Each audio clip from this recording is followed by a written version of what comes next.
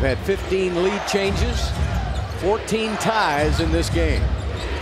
Oh, no. One second left. Camby's got to Oh, shoot it. wow. Marcus Camby, that's not as good as his 90 footer a couple of weeks ago, but I'll take this one. The Camby man can. Yes, he can.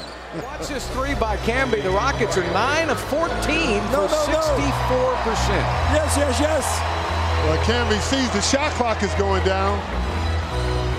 He gets it off just in time. Lakers have had a big advantage at the free throw line, but the Rockets have had a big advantage at the three-point line.